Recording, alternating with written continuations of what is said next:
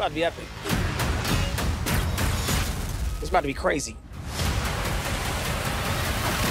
It's about to be epically crazy. In chronological order, this is the second Transformers movie. It takes place during the 90s, shortly after Bumblebee. We find a kid struggling with how he's able to provide for his family. My character Noah is ex-military, and I feel like I'm failing at every turn. Then I meet Mirage.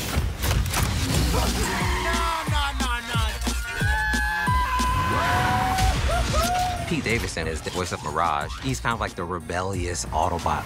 You looking good, man? There you go. Now we're friends. Elena works at the museum. She's investigating something which brings Noah into her life. Who are you? Uh, the janitor. Really? And that kind of opens a whole new world for her.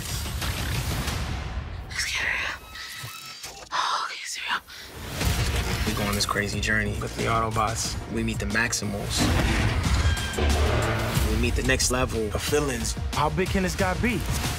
Uh, he eats planets. So, like, way bigger than a planet. There's a lot of action, there's humor, Stranger danger!